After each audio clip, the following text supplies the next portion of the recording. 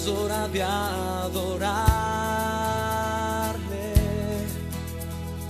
Ven, abre tu corazón a Él.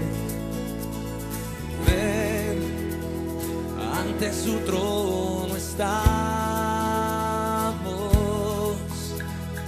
Ven, ante la majestad de Dios.